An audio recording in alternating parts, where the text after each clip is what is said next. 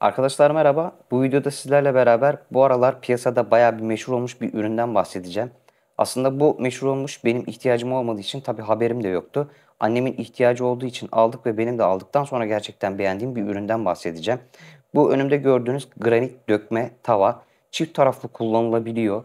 Şöyle göstereceğim. Aslında inceleme gibi değil arkadaşlar. Ben beğendiğim için sizlere bunu anlatmaya çalışıyorum. Benim bu üründen hiç haberim yoktu. Annem bunu benden istediğinde yani bilerek almadım. Fiyatı en uygun neredeyse oradan araştırıp buldum. Bu arada bu ürünü alırken ben aldığımda yanlış hatırlamıyorsam 260 lira civarındaydı. Herhalde en son ürünü ben aldım. Daha sonrasında aynı satıcıda 600 küsür liraya çıktı arkadaşlar. Başka sitelerde 300, 400, 500, 700 hatta 800-900 liraya bile aynı ürünü satıyorlar. Tabi marka farkları var herhalde. Bu ürünün ben dediğim gibi sizlere bu tavanın ne işe yaradığını bilmiyordum arkadaşlar. Piyasada da gerçekten de bayağı bir kimse bunlara rağbet gösteriyormuş. Çünkü bunlar biz eve geldiğinde gördüm ben de.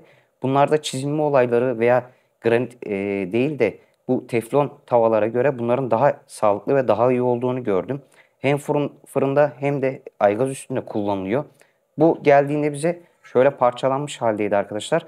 Şu anda bakın şurada civata deliği var onu göstereceğim. Eğer alırsanız montajını yaparken de siz de zorlanmayın diye onu da göstereceğim. Bu şekilde aygaz üstünde kullanabiliyorsunuz. Bu tarafında annem bunları hep yaptı arkadaşlar. Ben de oradan gördüm. Gözleme yaptı. Gerçekten çok güzel bir gözleme yapıyor. Yani böyle aygaz saca falan e, ihtiyacınız olmuyor. Aygazın üzerinde normal e, ocak üstünde bunu kullanabiliyorsunuz.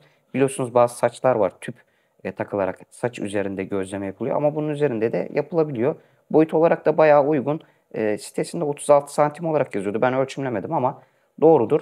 Kilo olarak da bayağı e, ağır arkadaşlar. Şöyle baktığınız zaman zaten metal hissiyatı veriyor. Ama bu dökme granit sağlam gerçekten sağlam ve granit olduğu da belli arkadaşlar.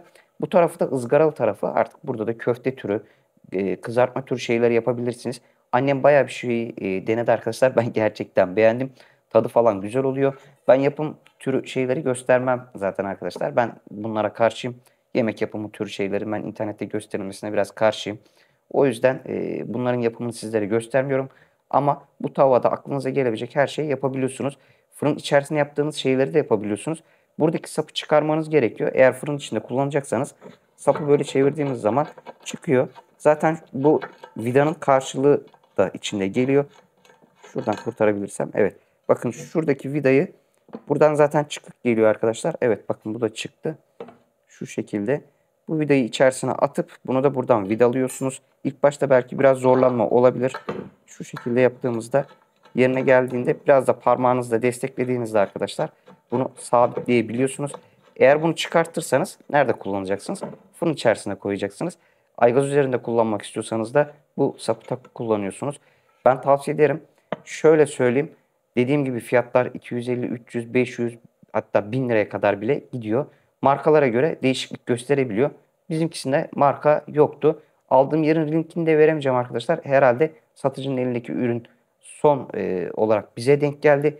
Daha sonrasında başka bir satıcı çıktı. Biz hepsi buradan almıştık. E, onda da ürün 600 küsür lira civarındaydı. Bilmiyorum yorumlara bakarak hangi satıcının uygunsa ebatları boyutlarına da bakarsınız. O satıcıdan alırsınız. Ağırlığı da zaten en az 1,5 kilodur. Sitesinde yazıyordu ama ben hatırlamıyorum ama şöyle ağırlığında hissediyorsunuz arkadaşlar.